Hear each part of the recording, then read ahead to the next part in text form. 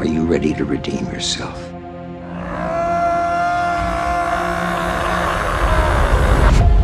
I keep you safe. The peace between realities erupted. I promise I can help you be with your daughter again. We all done horrific things. Now you have a chance to do them for a good reason.